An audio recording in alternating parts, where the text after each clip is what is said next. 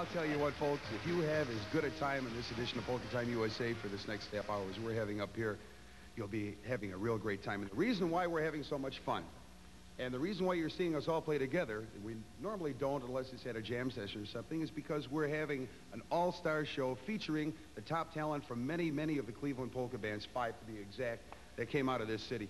On my left, you're right, is Tony Vadnal. Tony has been a mainstay with the Johnny Vadnal Band and then later the Richie Vadnal Band. Played with Johnny Pecon for a little while.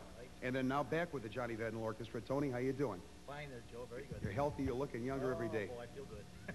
we got to go from a guy of Tony's caliber to this guy in back of us. No caliber. This is, a, this is our mascot. And everyone always says, Porky, Jack Ponikvar, that is to you, is all class. And sometimes he's fourth. He plays with Kenny Bass's orchestra at one time. He plays with Dick Soja's band right now. And he's been with Frankie Yankovic, with a lot of the other ones. Next support, we go to our distinguished member of the orchestra. And his wow. name is Paul Yanchar.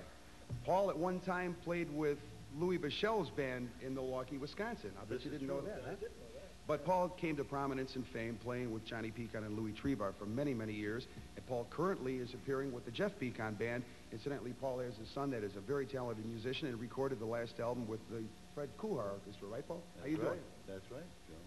And now great? you'll be playing with us.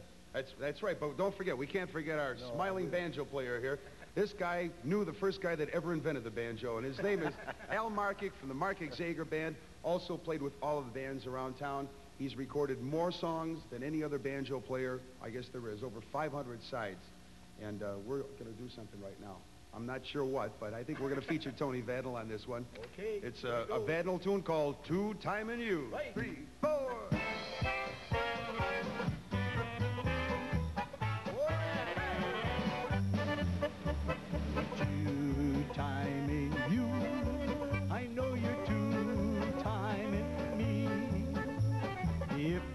That's what you choose to do, baby, I've got oh, news for